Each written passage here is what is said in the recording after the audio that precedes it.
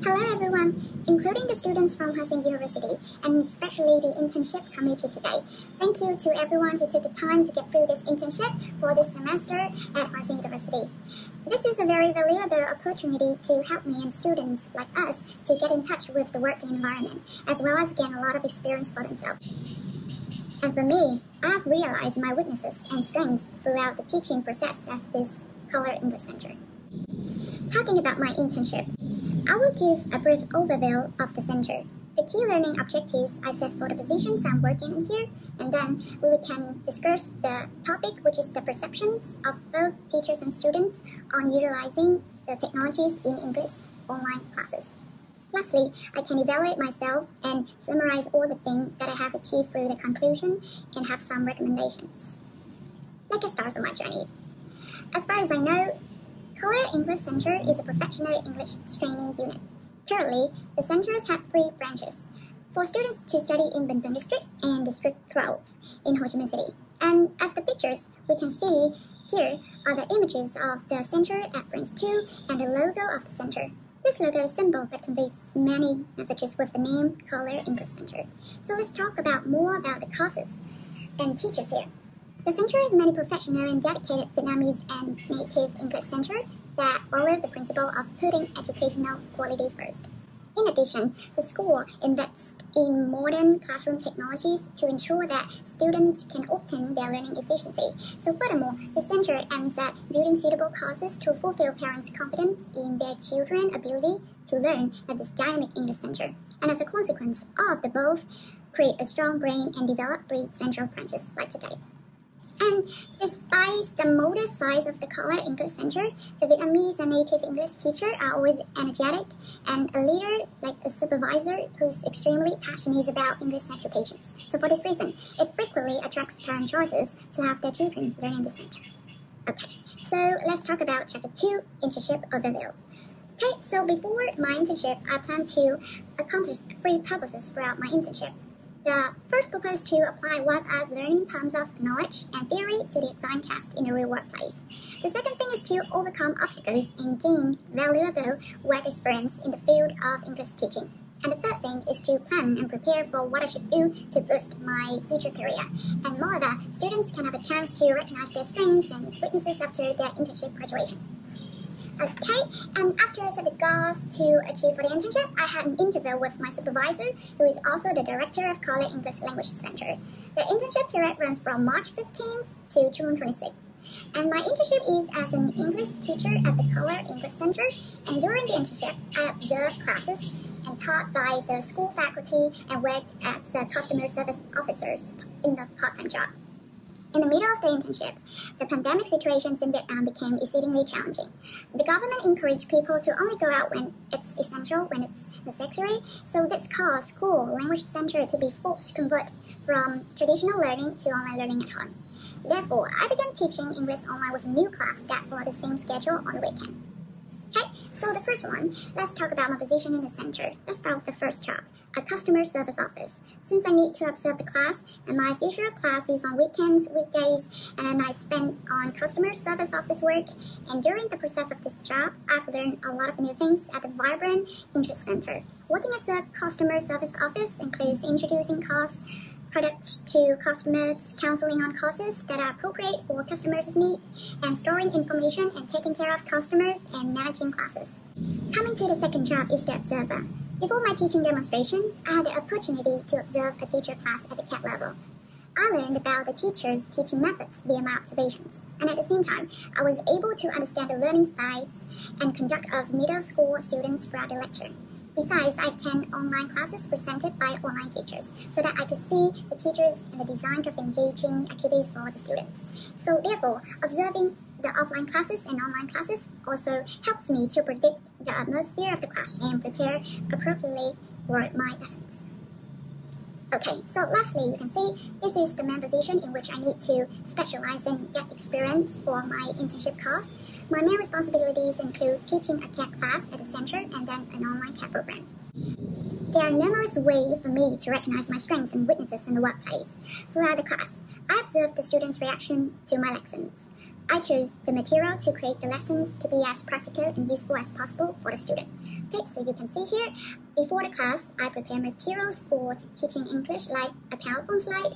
Also, I gave them some games on the Baamboozle, and then if I can search some useful YouTube video, I will show them. And also, this is the books for teaching English.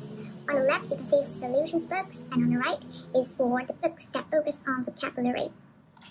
Okay, so instead of doing exercise in the textbook, I also brainstorm creative activities to make them feel more motivated to study English instead of using the exercise on the textbook.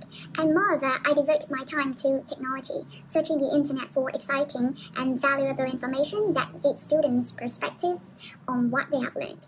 Okay, so using technology is more important than ever in the COVID pandemic situation. It is thought to be the most efficient method for students to study online while remaining safe from the COVID-19. To investigate whether or not employing technology to teach English is an effective learning strategy, as a result, I decided to conduct research and use survey data from students and teachers for online learning on the topic perceptions of both teachers and students regarding the use of technologies in English online classes. So we have four parts here from A to B. Uh, let's start with the A. Throughout my teaching day, I noticed and realized that many teachers concentrated on teaching about the book. Students just sat at the desks and studied with a book that contained numerous informations. However, I attempt to use more materials from the internet to educate for my CAT class which results in both negative and positive outcomes for my students. Okay, so however, I discovered that learners can broaden their knowledge by using technology supported in the class. And as a result, I began searching for the resources on the internet, and therefore I chose to study subject to assess and survey the observation and analysis of students and teachers' perspective on the use of technology, apps, and the internet on the computer. Okay, so for number two, as you can see on the slide, there's some quotes from the research paper. This one analyzed the importance and effectiveness of using technologies in the English classroom. The following is information from previous researchers, including the concept of technologies integration, the importance of using technologies in English classroom, and the teacher's perceptions of using technologies in English classroom analyzed for the subject. Okay, you can see here. This from QO, for example, demonstrates the beneficial benefits of EOF, students utilizing YouTube with video linked to school subjects to improve their English listening skill. For Part C, issue enhancement interpretations. Participants using this survey include 25 students at English Center School and 5 teachers at Order English Language Center. About the methodology, I used 5 SAMS question for students and teachers to ask. You can see here this is part A for students, five questions, and here is the questionnaire for the teacher in the part B. Okay. As you can see, these are five questions that I give them. After collecting the data, I gather this information and evaluate the responses using charts and column diagrams. Let me show you the graph based on the result. Here, you can see on the left is students' result, and on the right is the teacher's results. And this one is question 1 from question 5 here. How do students feel about technologies applied in classroom activities and knowledge? Num question number three. Question number four. Question number five.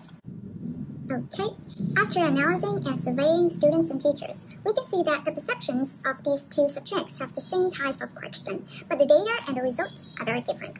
Students are enthusiastic about using technology to study English online, and the majority of them have no problem learning and provide several advantages while doing so. Teachers, on the other hand, dislike and are ambivalent about English education that incorporates technology. Furthermore, they believe that using this approach is time consuming, and there are problems with data connections, webcams, and microphones between teachers and students. But however, they also can ignore the value of online information resources and the time saved by using online learning platforms to learn English. Therefore, through this survey, we can see students' interest in using technology for online English learning. And as for teachers, they should be encouraged to use more technologies in their teaching. So next one is evaluation. During the training process at the English Language Center, I have realized a lot of valuable experience and knowledge to accumulate for myself every day. And additionally, for a beginner like me, this internship provides a strong basis from which I could absorb knowledge and evolve into a good teacher. It also showed me that applying information to teaching is difficult, and that it needs daily nurturing and practice. And therefore, the internship provided me with enough experience and understanding of my strengths and shortcomings so that I can advance in my job as a teacher. Okay, so let's talk about strength. In terms of communication, I like conversing with everyone. When I speak with my coworkers, I gain a lot of knowledge from their job experiences. When I interact with students, I learn more about their learning styles and can customize my courses properly. I receive considerable experiences and information from my supervisor discussion with me, and I'm grateful to everyone from the center since I met and learned quite a bit of interesting and useful things from people. Okay, so what about weaknesses? Aside from that, I have a lot of areas which I need to improve more. One of these flaws is a lack of pedagogical understanding of the teaching process. I still want to be able to assist students in better understanding the ideas they've learned, and as a result, this is the same concern and problem I will be teaching and evaluating throughout my teaching career. Okay, so the last one, conclusion. Um, overall, this internship was a very unforgettable experience for me, and this internship allows me to work freely while receiving valuable experiences for the future. It would also close for university process, but that's the open for a new door to help me in taking a firm step forward into the future. Furthermore, for students to perform well during the internship, it would be wonderful if the Rising University could come up with a way to encourage us to develop a firm foundation in research skills, particularly in the topic section. It would support students in learning more profoundly and fully, and as well writing a written report correctly. And that's the end of the presentation. Thank you for your listening. And if you have any questions, please feel free to ask me. Thank you. Bye.